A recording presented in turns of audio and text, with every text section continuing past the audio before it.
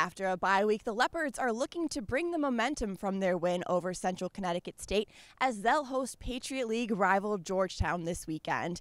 Hear from what Coach Garrett and some of the players had to say about the matchup. Well, first of all, it was a really great team effort. Uh, all phases of the of the team really impacted the game with the return and then uh, a couple returns actually uh, on special teams and then good coverage.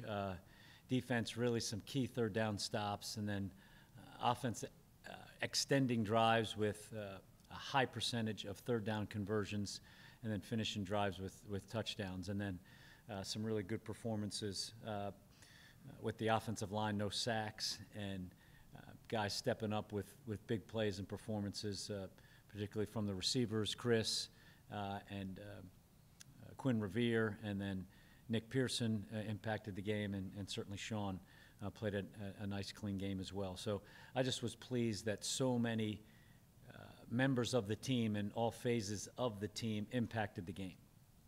Right. We spent even before uh, preseason camp this year. We spent a lot of time drilling our fundamentals, our footwork, and you're not going to get a holding call if you if you're moving your feet and you're getting the right position. So um, we're every day we just try and practice technically sound football. We try and get after our guys, and it, it's just starting to show up in the game.